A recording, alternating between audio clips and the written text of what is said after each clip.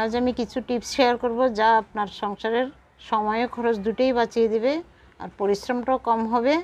তো এখানে আমি একটা ব্লেন্ডার জার নিয়ে নিয়েছি। ব্লেন্ডারের জারটা কিন্তু অনেক সময় আমরা ব্যবহার ফলে ধারটা কমে যায়, অনেকটা টাইম লাগে কোনো কিছু একটা জিনিস ব্লেন্ড করতে। তো এইভাবে আমি দেখুন একটু বেশি করে লবণ নিয়ে নিয়েছি। লবণটা কিন্তু আমরা হাতের কাছে পাই আর ধারটাও করে নিতে পারি। তো এইভাবে যদি আমরা কিছুক্ষণ ব্লেন্ড করে নিই অটোমেটিকলি এই ব্লেন্ডারের ধারটা কিন্তু অনেকটাই বেড়ে যায় আর আমাদের ঘরের কাজটাও কিন্তু আমরা সেরে নিতে পারি। এই টিপসটাও আশা করি আপনাদের ভালো লাগবে। তো এখন আমি আরেকটা টিপস শেয়ার করছি নতুন গৃহিণীদের জন্য। তো এই ধরনের কাপে কিন্তু আমরা চা, দুধ অনেকটা, অনেক কিছুই খেয়ে থাকি।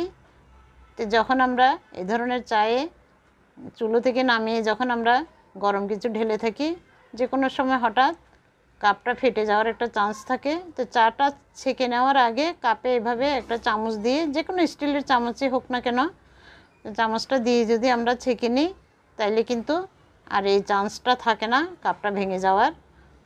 তো এটা কিন্তু নতুন গৃহিণীদের অনেক উপকারে আসবে, আশা করি ভালো লাগবে। আশা করি অনেক উপকারে আসবে।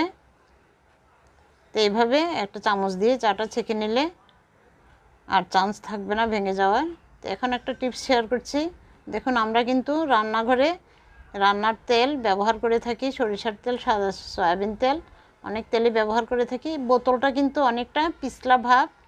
এই যে তেলটা ঢালার সাথে সাথেই কিন্তু এই বোতলটা একটু সেচেতে মানে কেমন পিছলা পিছলা হয়ে থাকে, এটা ধরতেও কেমন লাগে আর ব্যবহার করতেও কিন্তু একটা অস্বস্তি লাগে।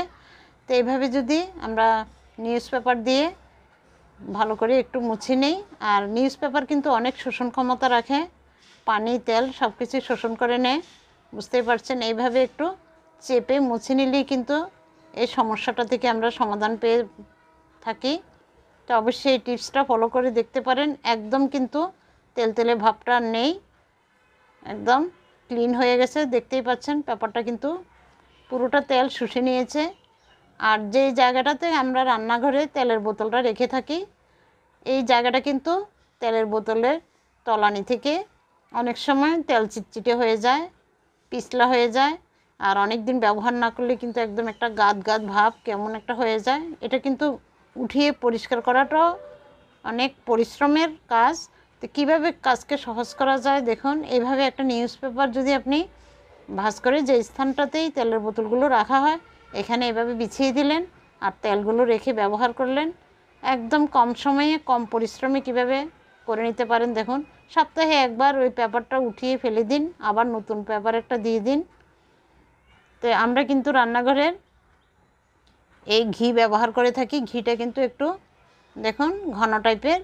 তো ঘিটা যখন আমরা পোলাওতে, পরোটাতে যে কোনো কাজেই ব্যবহার করি, ঘিটা কিন্তু চামচ থেকে পড়তে চায় না। চামচে যখন আমরা নিই চামচে আটকিয়ে থাকে। এটা কিন্তু ব্যবহার করতে গিয়ে অনেকটা সমস্যাতে পড়তে হয়। তো অবশ্যই এই টিপসটা ফলো করবেন। চামচটা চুলার পাশে একটু রাখলেই চামচটা কিন্তু হালকা একটু গরম হয়ে যাবে। আর এই যখন ঘিটা নেবেন, পটাপট ঘিটা চামচ থেকে পড়ে যাবে। আর যে কোনো কাজ ইজিতে করে নিতে পারবেন। আর কোনো ঝামেলাই থাকবে না। তো এই টিপসটা আশা করি আপনাদের কাজে আসবে। তো এখন আমি আরেকটা টিপস শেয়ার করছি।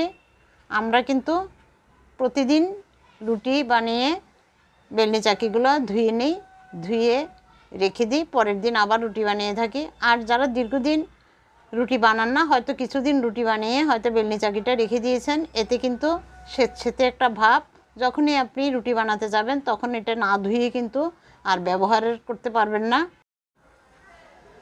তো বেলনি চাকিটা কিন্তু আমরা স্বাস্থ্যসম্মতভাবে রেখে যখন খুশি তখনই রুটি বানিয়ে খেতে পারি।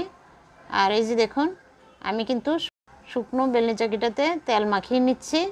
এতে কিন্তু দীর্ঘদিন এটা স্বেচ্ছেতে ভাবটা হবে না।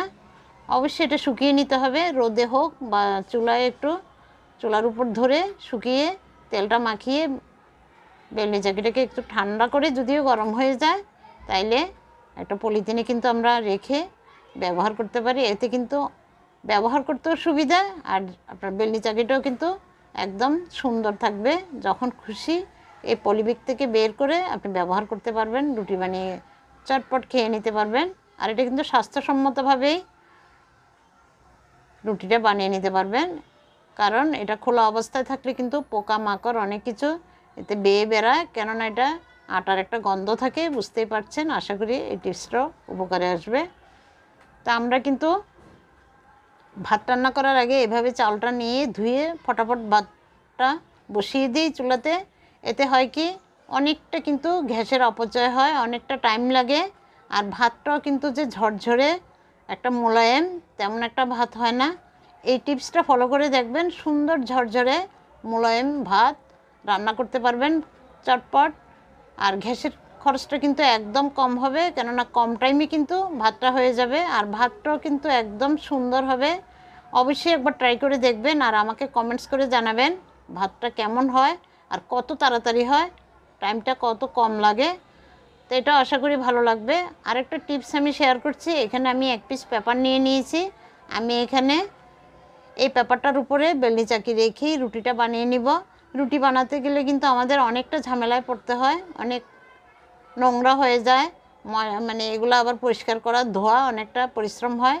তো এইভাবে পেপারটার উপর রেখে যদি আমি রুটিটা বেলে থাকি, তাইলে চারিদিকে যে আটাটা পরে আটাটাও কিন্তু আমার সাশ্রয় নিয়ে নিতে পারি। আর পরিষ্কার করাটাও তো কত ইজি